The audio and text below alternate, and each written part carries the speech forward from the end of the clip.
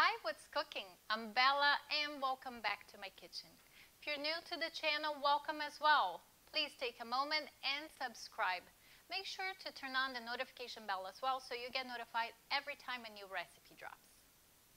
Today we're going to be making this delicious and nutritious red lentil hummus. Red lentil is rich in iron, soluble and insoluble fibers. It's high in protein content, so it's a great alternative for a vegan or somebody following a plant-based diet.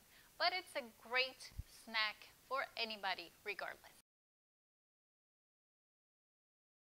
I will be posting the list of ingredients, including the measurements and the step-by-step -step of this tutorial on how to make this recipe on the comments down below.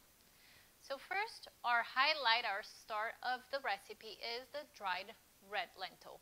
So you're going to need one cup of dried red lentil and you need to hydrate it at a minimum for four hours or you can add the filtered water and keep it in the fridge overnight. So for one cup of dry lentil, I'm using two cups of filtered water. Maybe this was a little bit more than two cups. But nonetheless, this is already uh, the lentil that I prepared for the video. It has been hydrating for four hours and you can see that it doubled in size.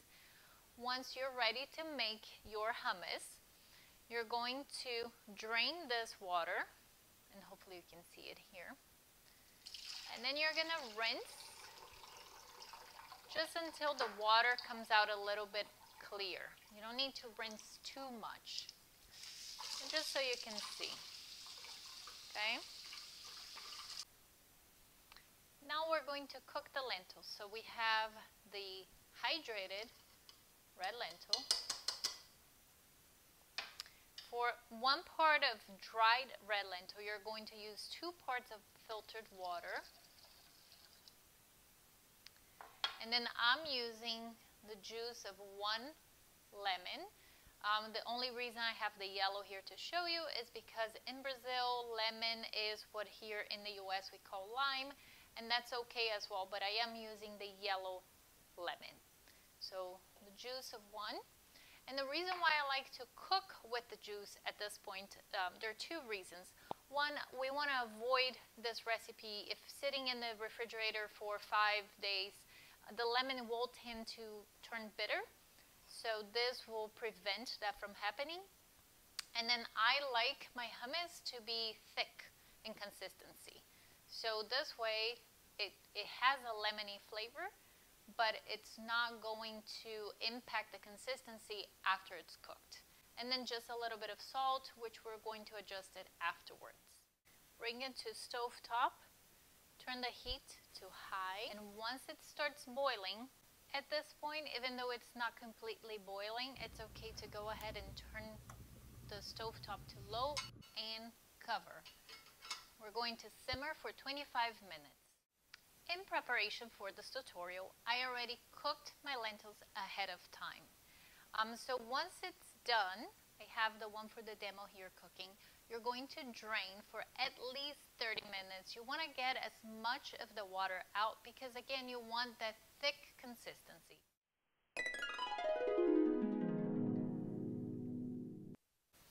Because my food processor is tiny, I had to pulse a little bit to make sure everything fits.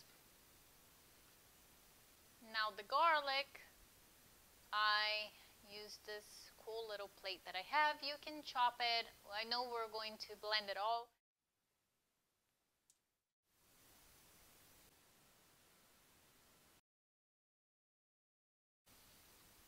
Now we're to taste if we need more salt and lemon. I'm also going to add a little bit of olive oil.